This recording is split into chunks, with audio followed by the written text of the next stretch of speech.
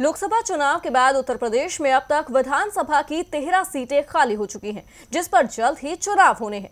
प्रदेश की सभी प्रमुख पार्टियों ने इसके लिए अपनी तैयारियाँ भी शुरू कर दी हैं। बीएसपी एसपी जहाँ अपने संगठन को मज़बूत करने में जुटे हैं तो वहीं बीजेपी और कांग्रेस भी पूरी तरह से तैयार है।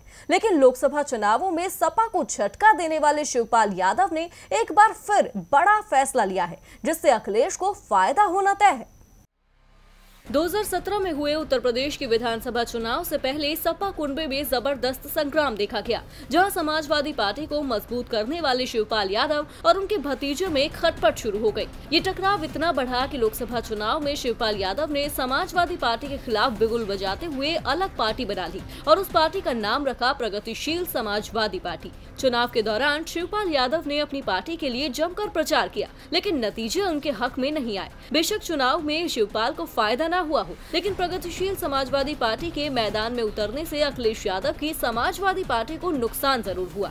लेकिन अब शिवपाल यादव ने एक बड़ा फैसला लिया है, जिससे सपा को फ़ायदा हो सकता है। दरअसल प्रगतिशील समाजवादी पार्टी के अध्यक्ष शिवपाल यादव ने कहा है कि उनकी पार्टी उत्तर प्रदेश में तेरह विधानसभा सीटों पर होने वाले उपचुनावों में अपने उम्मीदवार नहीं उतारेगी। प्रसपा प्रमुख ने कहा कि उपचुनावों में लड़ने के बजाय हम प्रदेश में पार्टी संगठन को मज़बूत करने पर फोकस करेंगे और 2022 विधानसभा चुनावों के लिए तैयारी करेंगे। पार्टी का संरचनात्मक संगठन मज़बूत करने के लिए शिवपाल प्रदेश के विभिन्न जिलों का दौरा कर रहे हैं।